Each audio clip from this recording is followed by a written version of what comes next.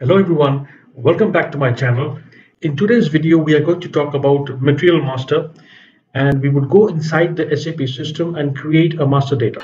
Now, if we talk about Materials Master, it is the most utilized and the most important data in SAP, wherein all the data of the material is stored inside. So this data is also made available to a number of processes such as materials management, procurement, uh, procure to pay, order to cash, inventory management, production planning. And the T codes which are used to create material master are MM01, MM02 and MM03. So MM01 is for creation and extension of material and MM02 is for change and edit and for display we have MM03. Now these are the views of the master data like the sales data we have sales text, sales data, sales grouping and other important information which are relevant to sales. The plant data has information about the plant where the material is stored. Valuation data has information about the prices and, and costing. Now this is a typical example or a typical screenshot of a material master wherein we have the views, so basic data views, we have the sales views wherein we store information about the sales. We have the purchasing view wherein all the data regarding regarding purchasing is saved inside.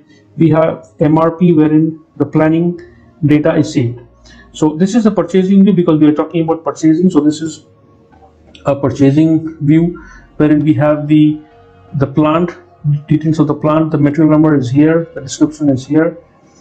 Uh, we see information about the plant where it is stored we have order unit we have the material group we have purchasing group and we have other important purchasing related data inside the material master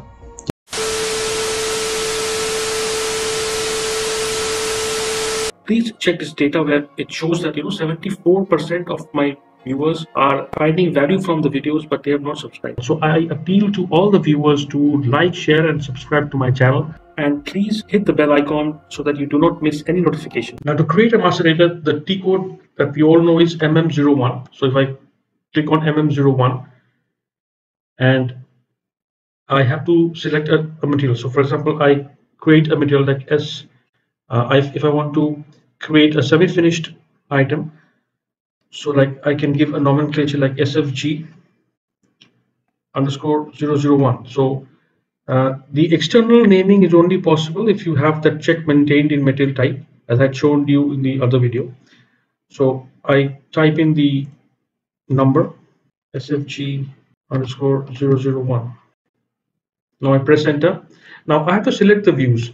So normally we can select basic data 1 and 2 so basic data 1 and 2 are global level data. So it is not uh, for a single plant. So whatever data you type in here it would be it would reflect on the org level and the client level.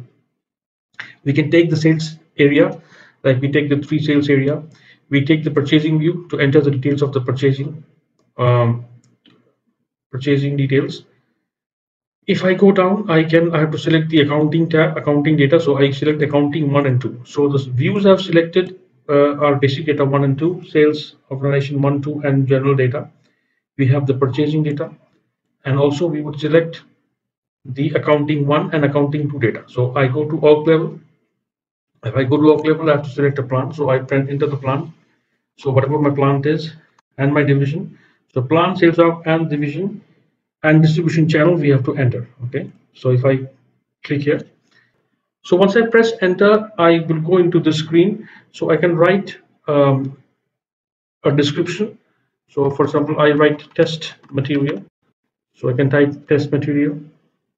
And these you know these tick marks are mandatory fields. So these fields have to be entered entered so that we are able to save the data so if I do not enter this field I would not be able to save the data. So whatever my base unit is, I have to create the base unit, for example, piece. And I have the material group. So whatever material group I can select from F4 and I select any material group that I have. I press enter. I would go into the basic data 2 tab. So normally we do not enter anything here, but uh, if if come if uh, we have requirements to fill any data, we would fill it. Then we we'll go inside the sales organization data. So here uh, the metal group is there. The base unit is, has come from uh, the last screen. so I can put here so this is important so I have to put uh, the tax data. So whatever my tax data is the company I mean, you will be able to know the your, your your tax data and I press enter. So I would go inside and if I have to fill the tax data here again so if I say full tax or half tax or no tax I would select accordingly. Now next I would go press enter and go inside the sales of two data. So here we have this item is mandatory. So I can select the data the item category group and I press enter.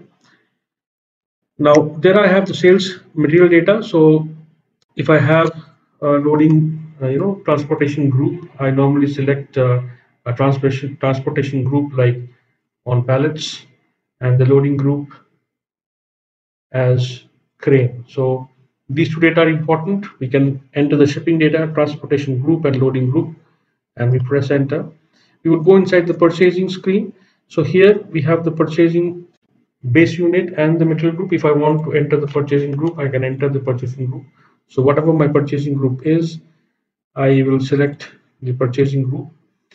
Now these are various checks like if I have want to do automatic PO, then I should click on this option. If I have purchasing value keys, uh, I should be able to enter the data here.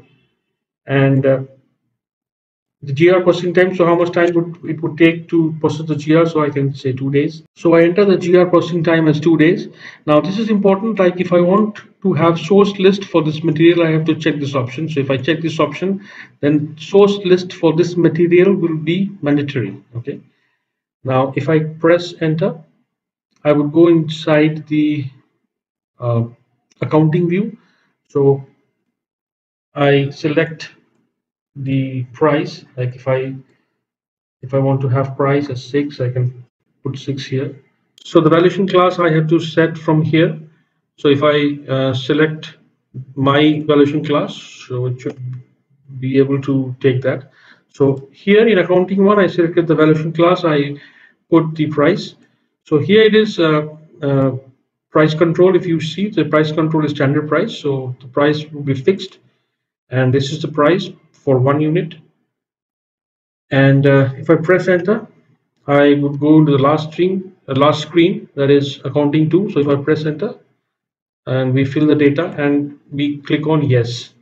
So if I click on yes the material will be created. So here as you can see the material has been created. Now if I want to display the material I can copy this material here and I go to mm03 so for example I can go to slash n mm03 and this is the last material. And I can for example I can take these two data like basic data one two and purchasing. I go to a org level. I select my plant and I go inside. So I can see the data which are filled the material group the, the base unit. In basic data 2 I have nothing. And if I go to the purchasing view from here I can see that I have filled the data here and if I go down the source list is checked so I have to maintain a source list. And also the GR processing time is two days I have filled it. So this is how we create a material master. So see you again in another video. Till then take care and goodbye